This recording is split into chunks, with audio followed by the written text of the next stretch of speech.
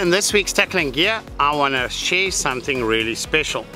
Now I know a lot of anglers might be angry with me with sharing this with you, but it does give you a bit of an advantage. It's been out for four years and it makes a big difference. And what I'm talking about is the American Fishing Wire Surflon. The Micro Supreme 7x7 or 49 strand as it's known. Specific color is camo. Now why do I want to discuss this with you guys today?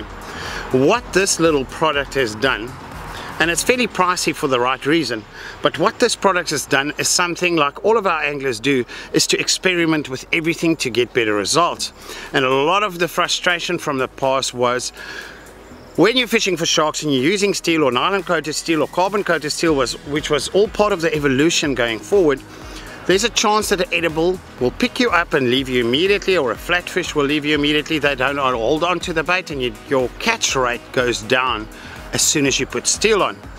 And at the same time you want steel on because there might be some sharks in the area, especially when you're fishing for flatfish. A shark might pick up your bait because the type of baits we use for flatfish lures in sharks. So you kind of got a catch-22 situation. You have to fish nylon to get more bites on flatfish and edibles, but at the same time you want to be able to hook that shark when it picks up. Now this is what this product's done. For the last four years it's become one of the most favorite little secrets in most anglers and competitive anglers bags. The Surflon Micro Supreme 7x7 49 strand specifically and the camo color.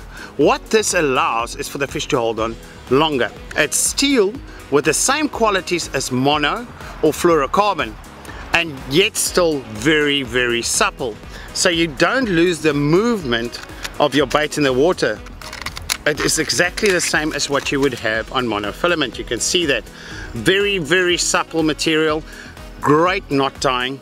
You can make a normal figure of eight with this. There's really the knot strength is superb on this and all the qualities you will have in monofilament. So should one of those toothy critters or a bigger shark come around and pick you up you still got the chance of landing him, a very good chance of landing him, not sacrificing your bites or hookup rates on the flatfish and non-edibles. So guys, if ever you're in a shop and you can get your hands on this, make sure you try it out. We normally use this in bite traces. You guys will see in a lot of the traces we refer to this um, when we when we tie a bite trace. So a short piece is more than suffice to actually hook a shark and get a, a flatfish and all your edible but still on this material. So really a great product. We've known uh, the Surflon products, American Fishing Wire products for a while. The normal Surflon is also there. Same type of properties, but not quite as supple and as, how can I put it, monofilament-like and fluorocarbon-like as what the 49 strand is. And then also, guys, we all went through the phase where we used the bleed wire, the red one, and I still do it in some instances, fishing for grey sharks and bronze whalers. The, the blood wire is still there. But make sure you've got this in your tackle bag, give it a try, and you'll be surprised with the bite rate you get on it.